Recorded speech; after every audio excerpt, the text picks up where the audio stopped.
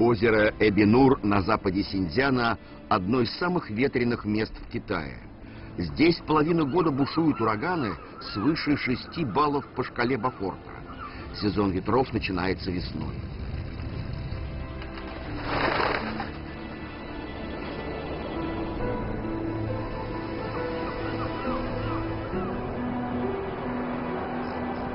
Воздух теплеет, просыпаются песчаные змеи.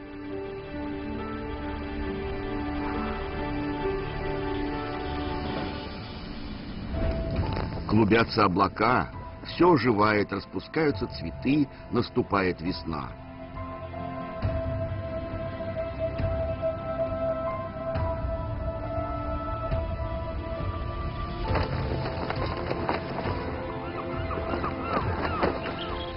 Перелетные птицы улетают вместе с ветром.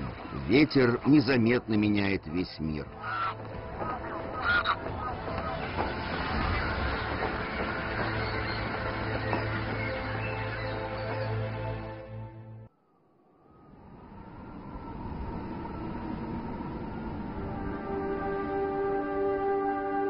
Апреле зима еще не покидает леса Большого Хингана.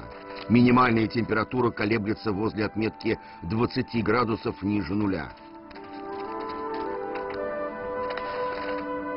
Сибирский колонок, которого в простонародье называют хорьком, осматривает лес. От его острого чутья добычи не спрятаться даже под толстым слоем снега.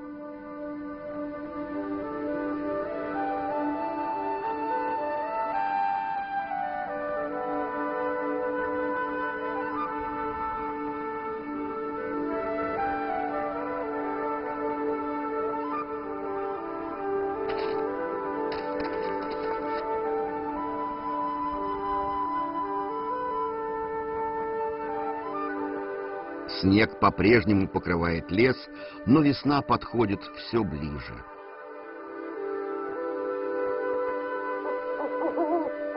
Редко встречающиеся совиные неяс и тефилин внезапно увеличили свою дневную активность. Они готовятся к наступающему периоду размножения.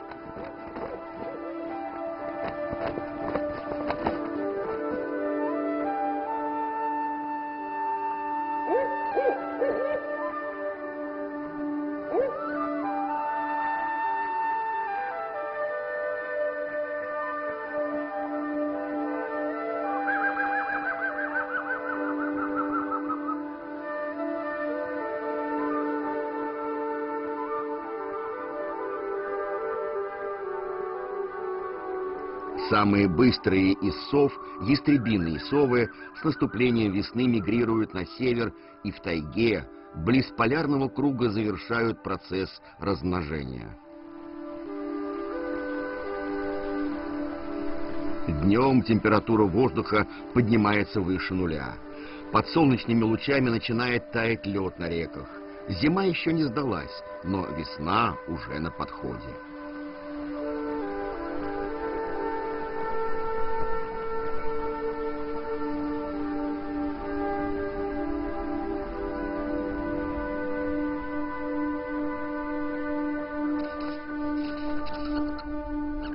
Лесной хомяк, который не впадает в зимнюю спячку, покончив с осенними запасами орешков, решает покинуть свое жилище под снегом и выходит на солнце. Возможно, здесь ему удастся отыскать орехи.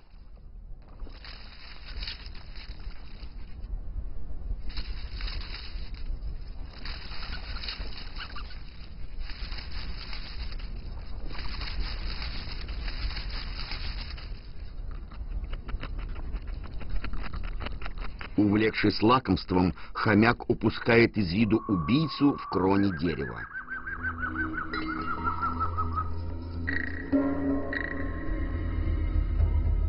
Особая структура глазного яблока позволяет ястребиной сове приспособиться к яркому дневному свету, а также видеть все в темноте. Ястребиная сова – удивительный охотник, способный охотиться в любое время суток сова обнаружила лесного хомяка, разыскивающего орехи. Охота скоро начнется.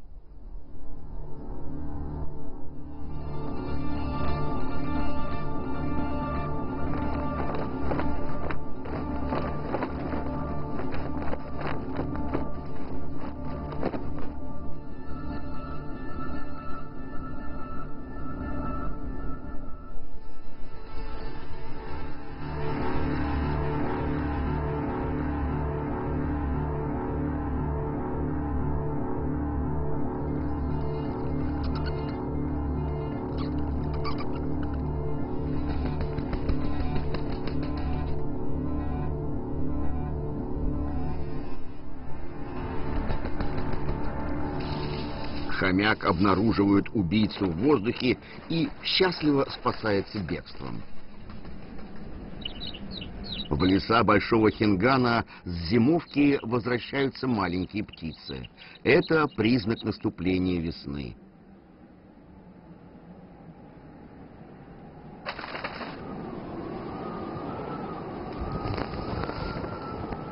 На изломе зимы погода все время меняется. Большой Хинган — это северная оконечность, до которой могут долететь теплые потоки ветра с Тихого океана. Но налетает сибирский холодный ветер, и в лес снова возвращается зима. Температура стремительно падает, и лесной хомяк скоро окоченеет от холода на снежном ветру. Конечно, ястребиная сова не может упустить такой шанс. Она немедленно взлетает. Это превосходная убийца в воздухе, скользит, парит на малой высоте, хватает добычу и уносится. Идеально, словно по учебнику.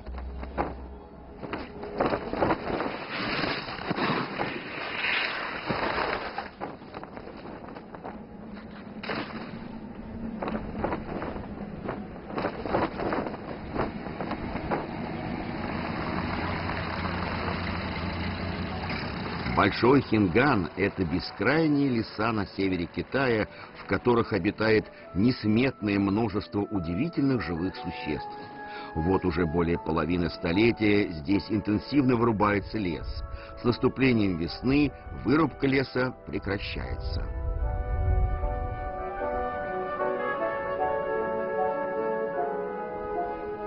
Когда-то на Большом Хингане располагалась почти половина лесной промышленности всей страны. Сейчас наступает длительный период восстановления.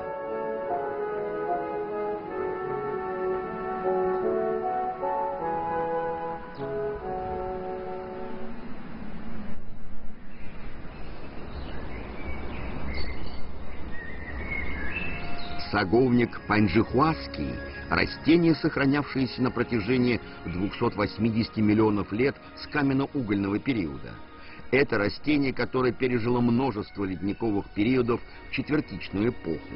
В последних числах апреля начинают распускаться тычиночные цветки саговника. Мужские цветки цветут ежегодно, тогда как женские всего лишь раз в два года. При этом саговник распускается в разное время – женские цветы саговника распускаются на месяц позже.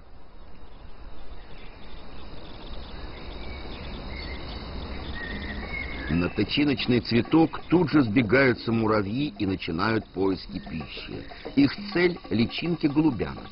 Личинки голубянок – убийцы саговника. Даже такие крепкие, словно железо, листья могут быть съедены подчистую. Личинка голубянки огромна. Одному муравью с ней не справиться. Нужно непременно созвать отряд помощников. Муравьи, преследуя личинок, пролезают в букет саговника. Они легонько ударяют по телу личинки, и личинка выделяет много сладкой медвяной росы. И муравьи наслаждаются вкусной едой. Личинки-голубянки для них словно тучные муравьиные коровы.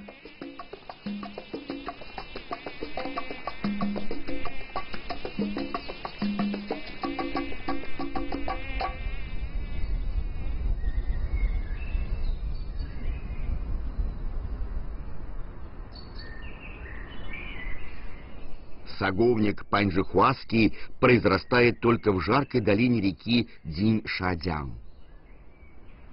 К концу апреля температура в долине реки Динь-Шадян повышается до 35 градусов. Не только Саговник, но и вся долина сталкивается с испытанием высокой температуры.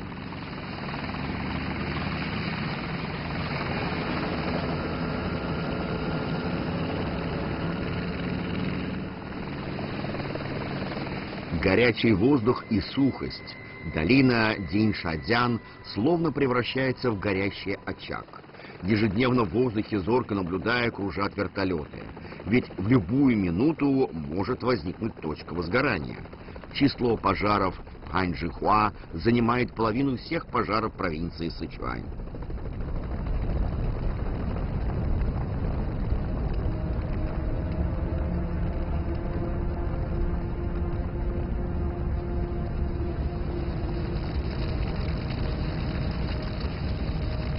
Однако невозможно уберечься от лесного пожара, который стремительно распространяется со скоростью 11 км в час.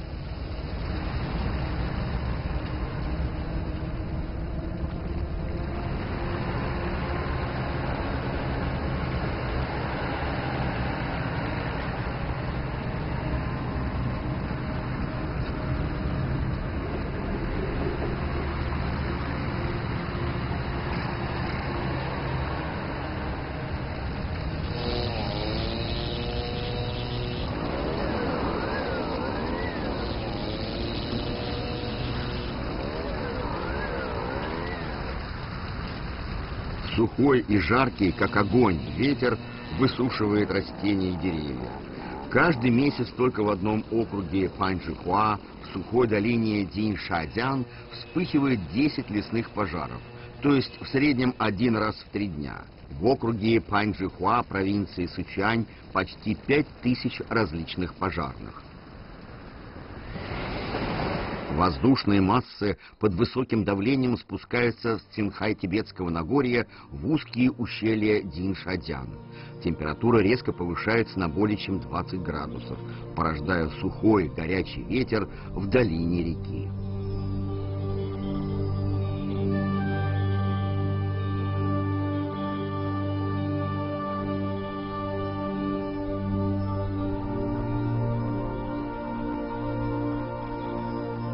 Через месяц в Паньчжихуа наконец-то распускаются женские цветки саговника. Особая структура женских цветков приспособлена для распространения пыльцы с помощью ветра. Многочисленные пестики и тычинки зарастают тонкими ворсинками, чтобы максимально увеличить площадь поверхности и схватить на ветру как можно больше пыльцы.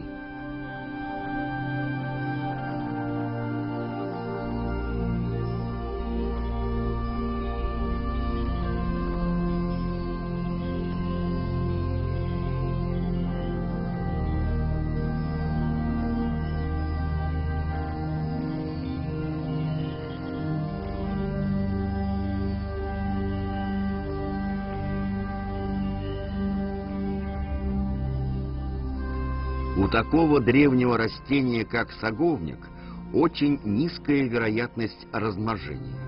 Пыльца распространяется в основном с помощью ветра, и женским цветкам нужно успешно поймать пыльцу, а для этого нужна удача. Все ждут ветра.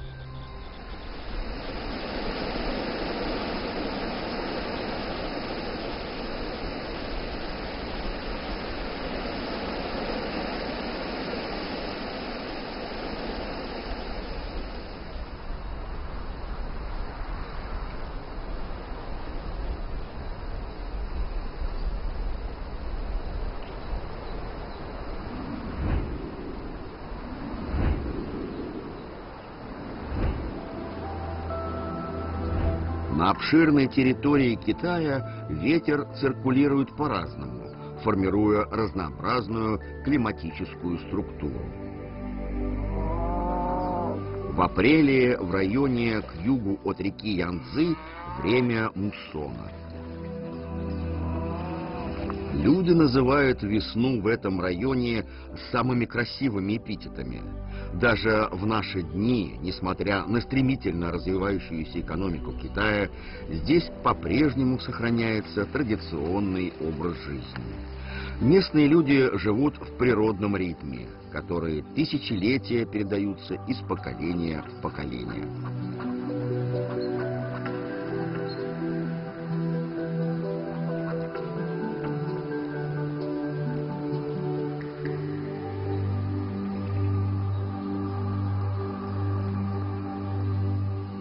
Китайские традиционные птицы счастья мандаринки стягиваются на озеро к югу от Янцзы. Озеро Юань-Янху в уезде У-Юань – крупнейшее место зимовки диких мандаринок. Мандаринки – перелетные птицы. С места зимовки они мигрируют в места размножения. Их траектория полета как раз очерчивает область Китая с муссонным климатом.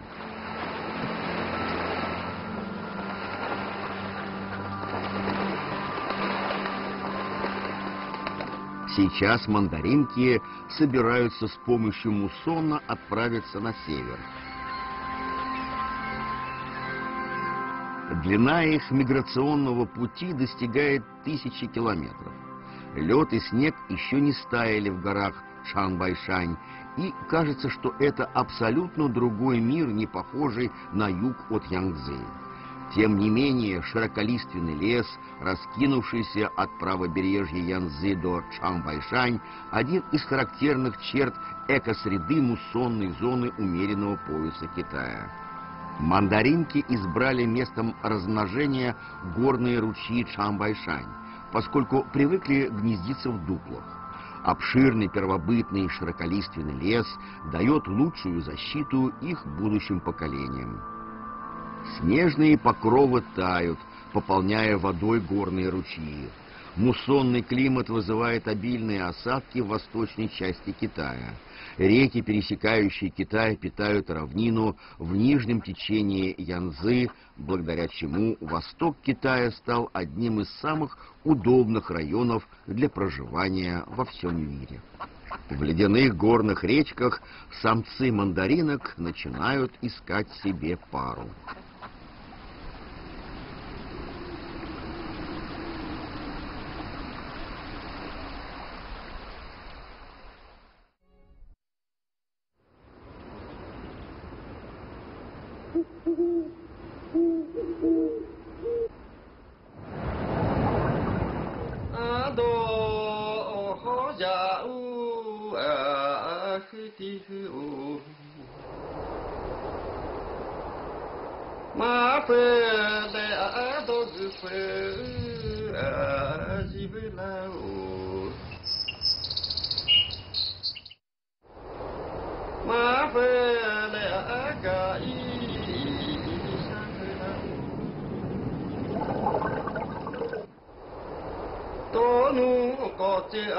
يشاء من قطعي أسبقه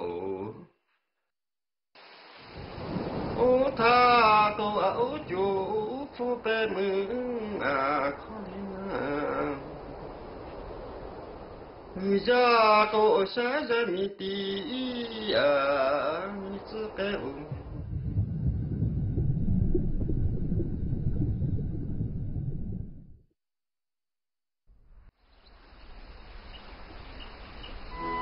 Юго-восток Тибета отличается влажным мягким климатом. Здесь раскинулись первобытные леса. Пейзажи здесь совершенно не похожи на пейзажи других районов Синхай-Тибетского Нагорья. Наступает весна. По мере роста высоты над уровнем моря одна за другой распускаются азалии.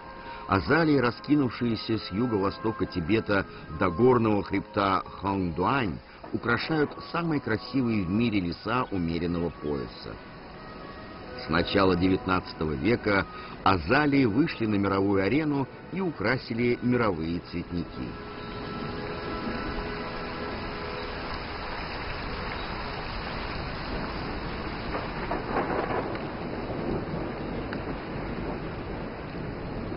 Теплые воздушные потоки с Индийского океана дуют вдоль ущелья реки Цангпо, порождая богатую живую систему в колоссальной величественной горной цепи.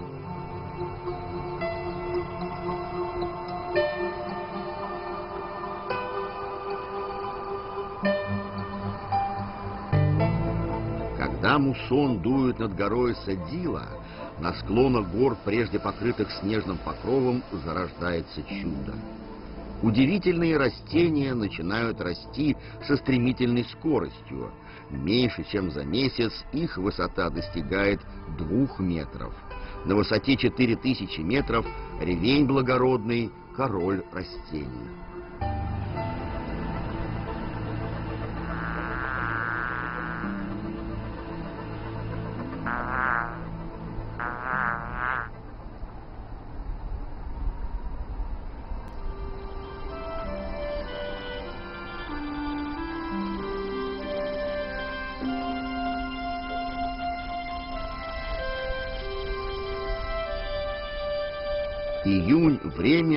Тысяч цветов на высокогорных лугах.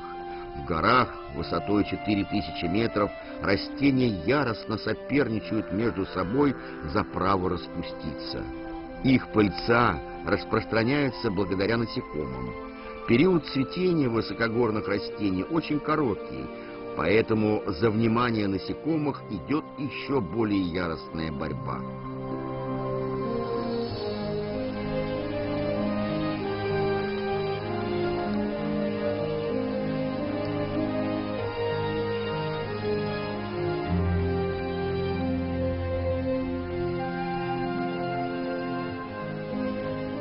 Каждый привлекает насекомых как может, яркими красками и особыми ароматами.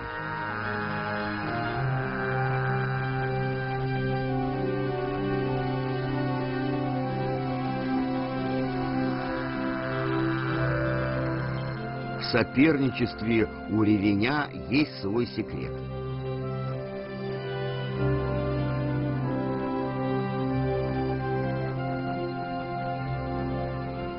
В это время года с Индийского океана непрестанно дуют теплые ветра. За один день сменяются все четыре сезона. За два часа температура воздуха может упасть с 10 с лишним градусов до нуля.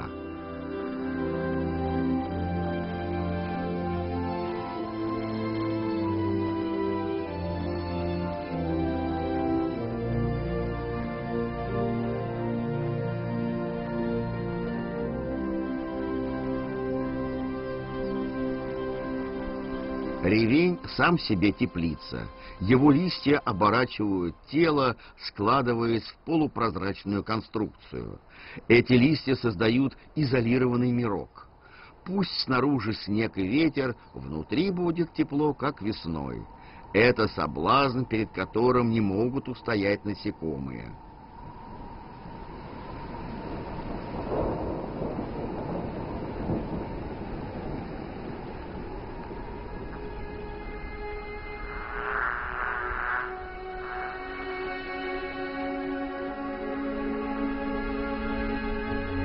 Приют ревеня встречает первых гостей. Крылья медоносной пчелы пропитались водяным паром. После полета при такой влажности она утомлена. Пчела наконец-то нашла место для отдыха. Пройдя через слои листьев, медоносная пчела достигает дверей приюта.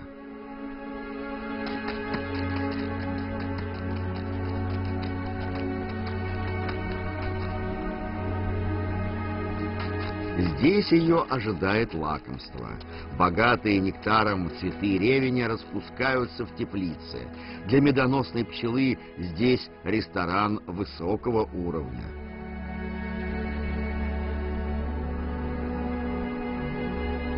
В благодарность пчела помогает ревеню с опылением. Это классический пример взаимовыгодного сотрудничества между флорой и фауной.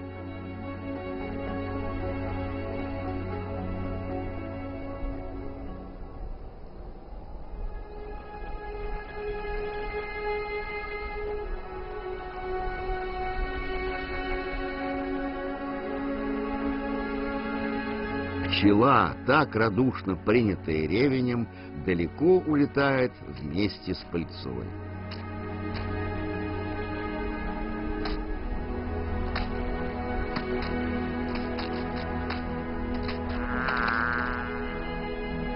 Теплый ветер дальних краев, опираясь на особую мудрость жизни, сочиняет единственную в своем роде жизненную среду юго-востока Тибета.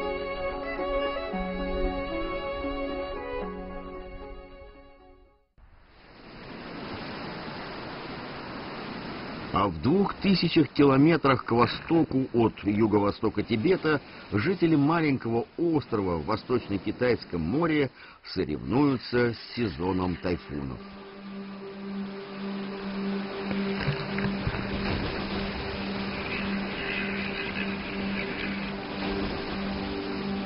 Остров Дзяушань – дом более чем тысячи китайских хохлатых крачек. На них лежит большая ответственность выкормить потомство до наступления сезона тайфунов. Тайфун – это ураган, дующий со стороны океана. Он достигает скорости 200 км в час, круша все на своем пути.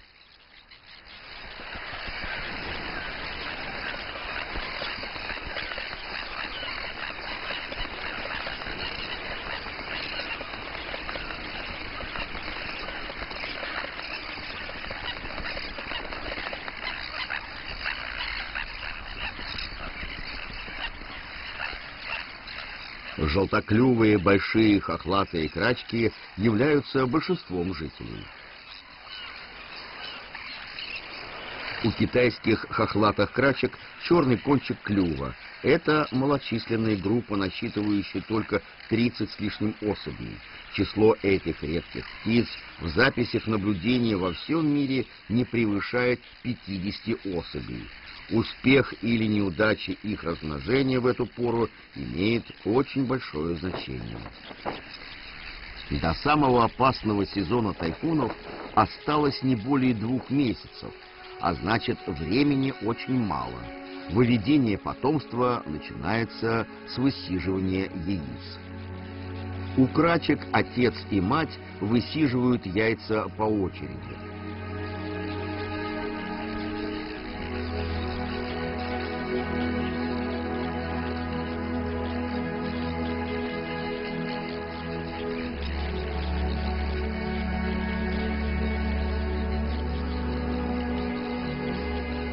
Плотность населения на маленьком острове велика. Случается, что птицы ошибочно принимают чужие яйца за свои, поэтому время от времени между соседями вспыхивают ссоры. Несмотря на жаркие споры между соседями, остается множество яиц, которые никого не интересуют. Если яйца долго не высиживать, то они быстро портятся.